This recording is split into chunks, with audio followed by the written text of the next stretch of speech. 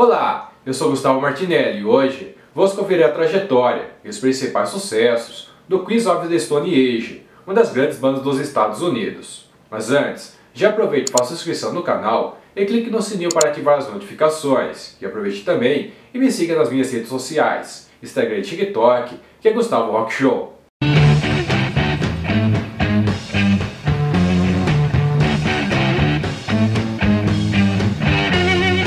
O of the Stone Age é uma banda de rock formada no ano de 1996 na cidade de Seattle, no estado de Washington, nos Estados Unidos. No ano de 1995, a banda Kais que Dosh Ron participava acabou chegando ao fim, e em seguida ele se juntou ao Screaming Trees como guitarrista de turnês. No ano de 96, Dosh Ron decidiu formar a sua própria banda, Gamma Ray, e convidou o baixista Van Conner do Screaming Trees e o baterista Victor Drizzle para gravar um EP com duas faixas, que foi lançado no mesmo ano.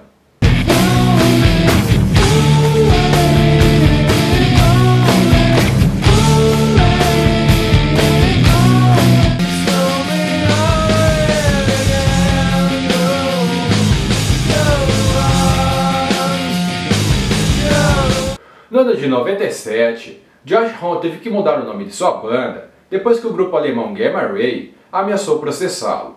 Deste modo, a banda passou a se chamar Queens of the Stone Age. Neste ano, Josh Homme gravou um novo EP e realizou o primeiro show da banda no dia 20 de novembro no Oak Hotel em Seattle, junto do baterista Matt Cameron do Soundgarden, do baixista Mike Johnson do Dinosaur Jr. e do guitarrista John McMahon do Monster Magnetic. No ano de 98, Josh Homme assinou um contrato com a gravadora independente Lowe's Groove Records. Em seguida, ele contratou seu ex-companheiro de cais, o baterista Alfredo Hernandes, e foi para os estúdios gravar o seu primeiro álbum, Queens of the Stone Age, que foi lançado no dia 22 de setembro de 1998.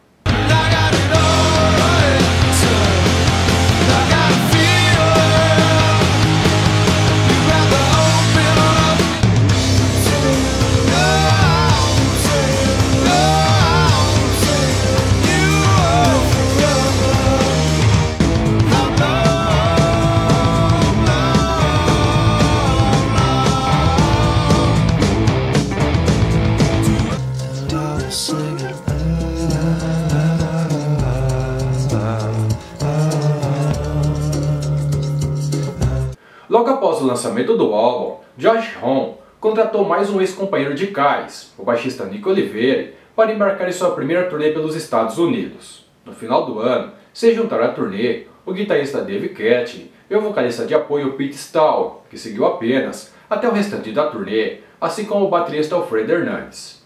No mês de dezembro de 99, o Kiss of the Stone Age foi para os estúdios gravar o seu segundo álbum, e para as gravações, o grupo contratou o baterista Gent Altman. No dia 6 de junho de 2000, foi lançado o álbum Hate the Door.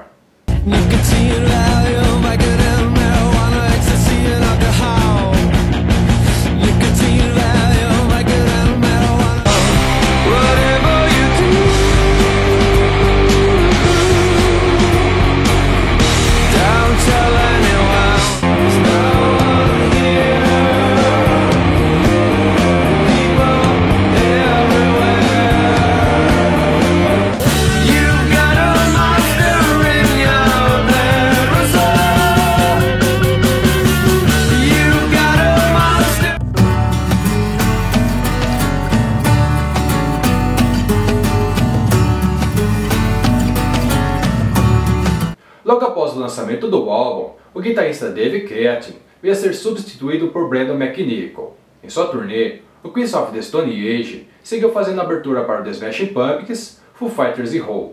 No mês de janeiro de 2001, a banda veio pela primeira vez ao Brasil para se apresentar no festival Rock in Rio, na cidade do Rio de Janeiro, e durante o show, o baixista Nick Oliveira resolveu tirar toda a roupa e tocou baixo totalmente pelado. Após a apresentação, o músico veio a ser preso e se desculpou pelo ocorrido. Na sequência do ano, Mark Leneg, vocalista do Screaming Trees, que havia chegado ao fim, se juntou ao Queens of the Stone Age como vocalista de apoio. Com a conclusão da turnê, o baterista Jan Trautmann veio a deixar o grupo e no final do ano, Dave Grohl, vocalista do Foo Fighters, se juntou ao Queens of the Stone Age como baterista para gravar o terceiro álbum de estudo da banda, Songs for the Deaf, que foi lançado no dia 27 de agosto de 2002.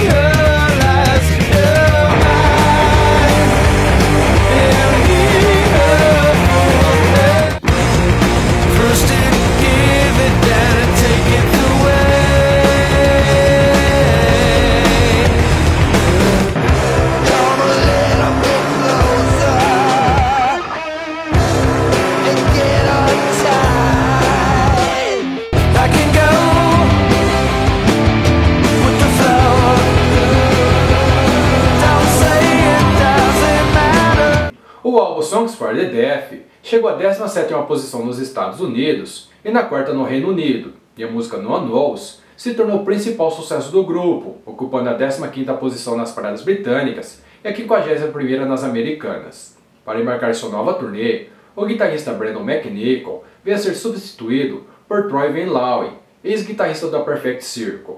Após concluírem a etapa americana da turnê, Dave Grohl retornou para o Foo Fighters e a banda contratou o baterista Joey Castillo. Com o fim da turnê no 2004, o baixista Nick Oliveira veio a ser dispensado e, para seu lugar, o grupo contratou Dan Droff, que seguiu apenas até o início de 2005, quando foi substituído por Lain O'Rones. Na gravação do quarto álbum de estúdio, o Queens of the Stone Age contratou a tecladista Natasha Schneider, e no dia 22 de março de 2005 foi lançado o álbum Lullabies to Paralyze.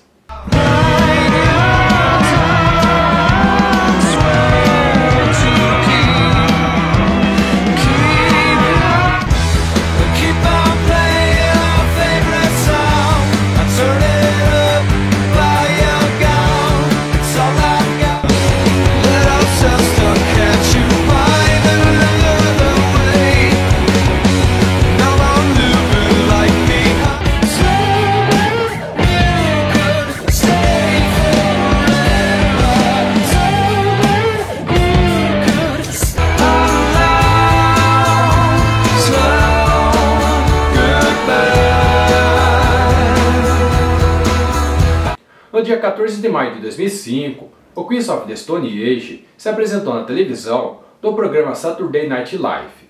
No final do ano, o vocalista Mark Leneg veio deixar a banda, e após o fim da turnê em 2006, a tecladista Natasha Schneider também deixou o Queens of the Stone Age. Em seguida, a banda foi para os estúdios gravar um novo álbum, Era Vulgares, que veio a ser lançado no dia 12 de junho de 2007.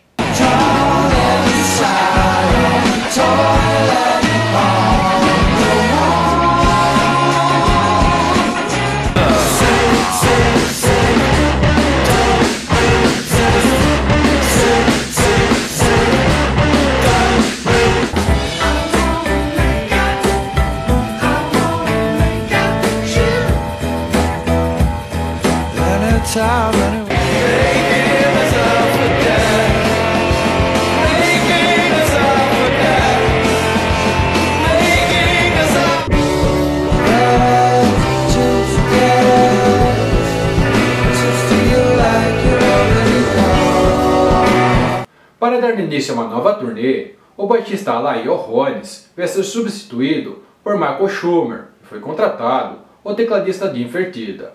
No dia 2 de junho de 2008, a ex-tecladista Natasha Schneider veio falecer aos 52 anos de idade. Para homenageá-la, a banda fez um show beneficente no mês seguinte, que contou com vários convidados. Com o fim da turnê, o Queens of the Stone Age resolveu fazer uma pausa e Josh Homme formou o grupo The Cocked Voters com David Grohl e John Paul Jones, e os demais integrantes passaram a se dedicar a outros projetos. No meio do ano 2010, o Queens of the Stone Age retornou e seguiu uma nova turnê. Em seguida, Josh Homme fez uma cirurgia mal sucedida no joelho, que fez com que o seu coração parasse de bater por alguns segundos por conta da asfixia. Após o ocorrido, Josh Homme precisou ficar um tempo parado se recuperando de uma depressão causada por conta da cirurgia. No ano 2011, o grupo voltou a embarcar em novas turnês, e no mês de agosto de 2012, o Queens of the Stone Age se reuniu em estúdio para gravar o seu sexto álbum. No final do ano, o baterista Joey Castillo veio a deixar o grupo, e Josh Homme convidou David Grohl para terminar as gravações do álbum Like Clockwork, que foi lançado no dia 13 de junho de 2013.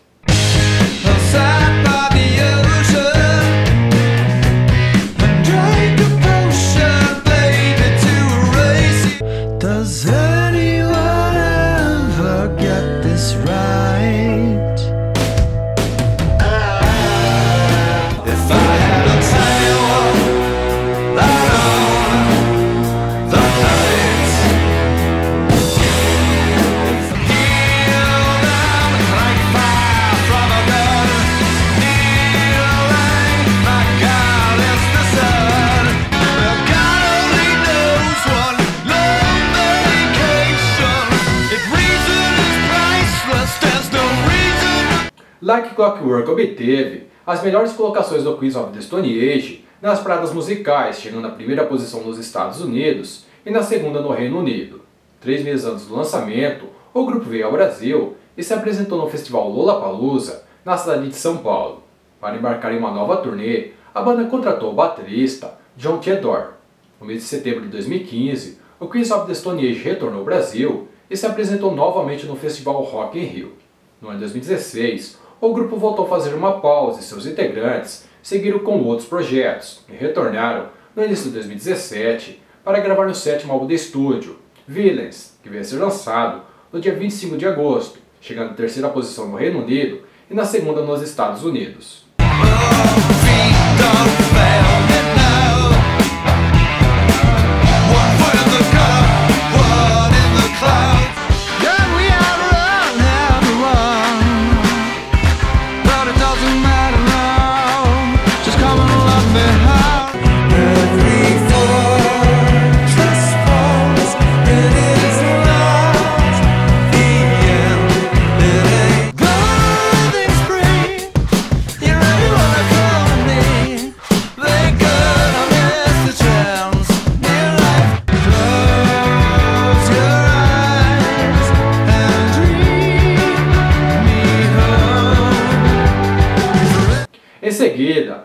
Of the Stone Age deu início a uma nova turnê mundial. Na sequência, a banda fez novas turnês e também algumas pausas onde seguiram, trabalhando em outros projetos. No dia 22 de fevereiro de 2022, o ex-vocalista de apoio Mark Lenegg veio a falecer aos 57 anos de idade.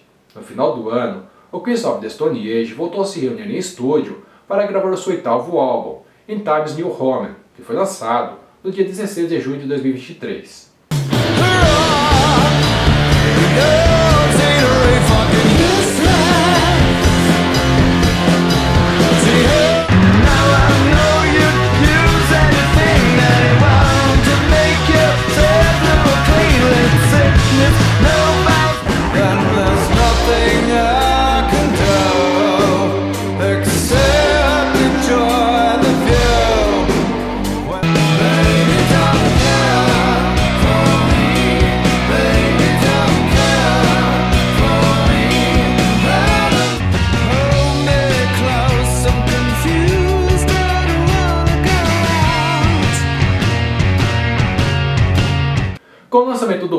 Times New Roman, o Queens of the Stone Age embarcou em uma nova turnê mundial. No mês de setembro, o grupo virá ao Brasil para se apresentar no Festival Town no dia 9, na cidade de São Paulo.